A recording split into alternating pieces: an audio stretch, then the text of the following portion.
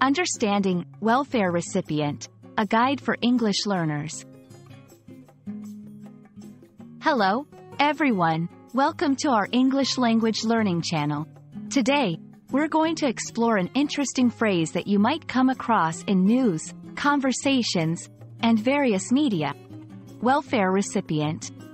Understanding this term is not only about expanding your vocabulary but also about getting a glimpse into societal and economic aspects of English-speaking countries. Let's dive in. The term, welfare recipient, refers to a person who receives assistance from government welfare programs.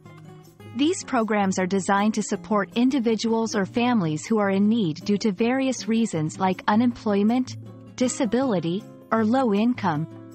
It's crucial to understand that welfare encompasses a range of services including financial aid, healthcare benefits, food stamps, and housing assistance. Understanding this phrase also involves looking at the social and economic context. Different countries have different welfare systems, and the term may carry varied connotations based on the country's culture and policies. In some societies, being a welfare recipient might be stigmatized, while in others, it's viewed as a necessary support system. To get a better grasp, let's see how welfare recipient is used in sentences.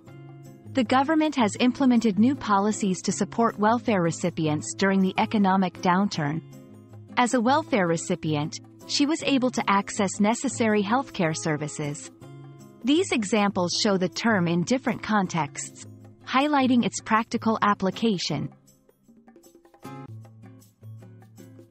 It's helpful to know synonyms or related terms. Beneficiary of social aid, social assistance recipient, subsidy receiver. Understanding these can enrich your vocabulary and comprehension of similar topics. I hope this video has shed light on the meaning and usage of welfare recipient. Remember, learning a language is not just about words, but also about the culture and context they reflect. Stay curious and keep learning. See you in our next video.